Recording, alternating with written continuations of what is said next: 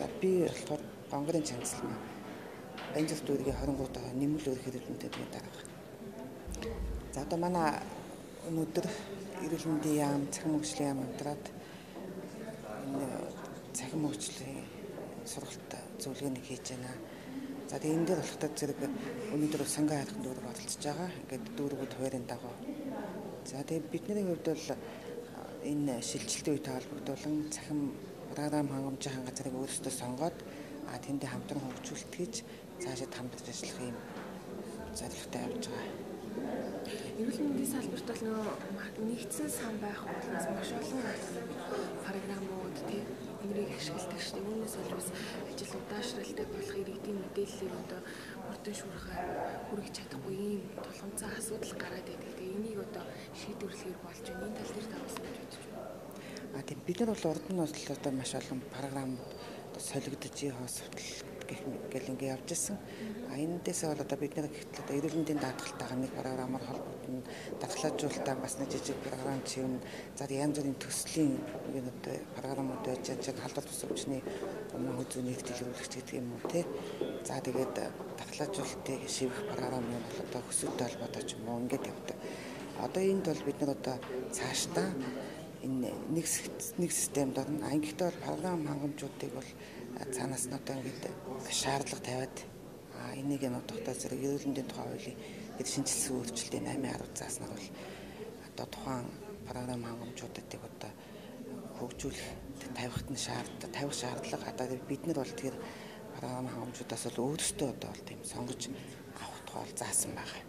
А тэгэхээр бол одоо энэ бид боломж гарч ийн гэсэн үг. Эрх зүйн орчинд бүрдэж ийн гэсэн үг тий 8-ын 4 цааснаар бол одоо бид нар хангалтны хэмлгүүд чинь тэр тухайн иргэнийхээ мэдээллийг цуглуулах тий тэн дээр дүүн шинжилгээг иргэнийхээ мэдээллийг хадгалах тий энэ нууцыг хадгалах гэсэн юм та. Аа тэгэхээр бид нар бол энэ үднээс бол өөрсдөө одоо програм хангамжийнхаа тэр бидний тавьсан одоо шаардлагад нийцэж гин үү гэдгийг бол өөрсдөө тэг сонгон шатлах болж авах эрхтэй байгаа.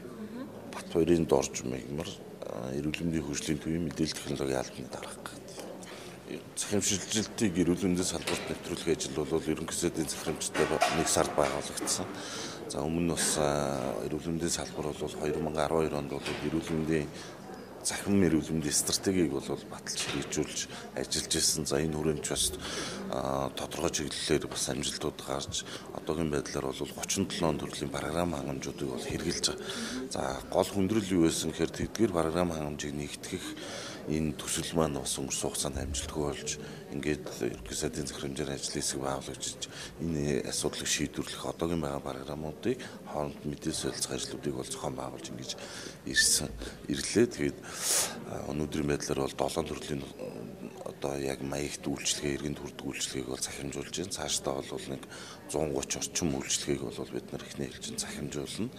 За мэдээж яг салбар цахим шилжилтэн шилжихийн тулд бол эрүүл мэндийн байгууллага, эм чимлэгийн мэрэгжилтэн за иргэдийн одоо цахимаар үйлчлэгээ авах хүсэл эрмэлзэл энэ хандлага соёлоос бол бүх үйлчлэгээ бол эхэлнэ гэж ингэж бол харж байгаа. Тийм цахимтай холбоотой үйлчлэгээ маань бол яг өөрсдөө үйлчлэгээ авч иж мэдэрдэг ийм үйлчлэгээ байгаа. Тэгэхээр одоо иргэнд бол бид нар хуучин бол амбулаторийн карт гэж ярьдаг байсан. Одоо өөрийнхөө эрүүл мэндтэй холбоотой өвчний мэдээллийг одоо өөрийнхөө үзлэг шинжилгээтэй холбоотой мэдээллийг юу гэдэг ийм карт бариад явдаг байсан. Бид нар бол цахим дээр одоо ийм Монгол аппликейшн дээр болон эрүүл мэндийн салбарын байгууллагуудын хооронд одоо мэдээлэл солилцсноор ямар нэгэн цаас барьж явах шаардлагагүй болгож одоо оруулж. За тэр болгоныг иргэд маань бол хуучин соёлоосоо одоо юу гэдгийг цаасаа нэхэд шинжилгээний хариугаа заавал ингэж хэвлүүлж авах гэдэг эдгээр байдал бол ажиллаж цаашд энэ хандлага соёл маань дэвшилж бас захинд хэрэглээг илүү дэмжсэн одоо байдалтай болох байхаа гэж ингэж бол харж байгаа тийм. Захирал Батүлэг. Тэ Батүлэг. Өнгөрсөн хугацаанд эрүүл мэндийн салбар бол ялангуяа манай хувийн хвшлийн эрүүл мэндийн байгууллага манай томоохон улсын эмнэлгүүд бол тодорхой хэмжээнд бол цахимжилтыг бол өөр өөрсдийн төвшөндөө хийсэн. Харамсалтай гол нь нөгөө хоорондоо мэдээлэл хэлцдэг байсан гэдэг л байсан. Тэгэхээр бид нар энэ боломжийг одоо олгоод өгсөн юм чинь а эрүүл мэндийн байгууллагууд одоо энэ өөрөө имлэг өөрөө автоматжуул буюу цахим системээ өөрөөр одоо хөгжүүлэх хариуцах ажлаа бас ойрын хугацаанд яарлах бас хийгээд энэ эрүүл мэндийн төрөлцсөн мэдээний сан гэж одоо бид нэрлэдэг байгаа. Энэ сандаа холбогдоод явах юм бол тухайн эмнэлэг өөрөө давуу байдал буюу одоо үйлчлэгээнийхэн чанар те иргэнд үйлчлэх хурд хугацаа за мэдээлэл солилцох гэдэг маш олон давуу талууд үүсэх учраас эмнэлгүүд маань өөрсдөө энэ дээр бас нэлээд манлайлалтай оролцох шаардлагатай байна. За бид бүгд шаардлагатай төрөөс одоо гарах ёстой тэр цахимтай холбоотой тэр зөвшөөрөл те янз бүрийн одоо хурам мур одоо дан системд холбогдох юмнуудыг бүгдийг нээлттэй гаргаад өгсөн байна.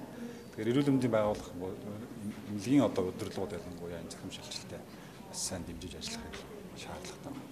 А иргэд угаасаа өссөн өсөөгөө гар утсаараа одоо ингээ 5 сарын 7-оос эхлээд энэ үйлчлэгийг аваад эхлэх учраас иргэд бас нэлээд шахахуулаа гэж харж байгаа.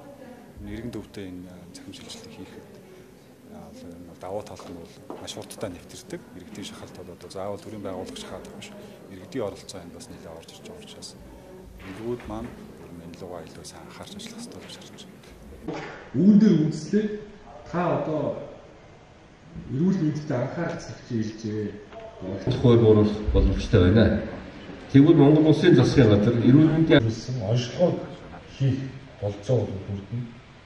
Тэгэл бид олвол эрүүл мэндийн сайд бол цахим хөгжил харилцаа холбооны сайд ямдас мөрчлөөр батлан хэрэгжүүлж байна.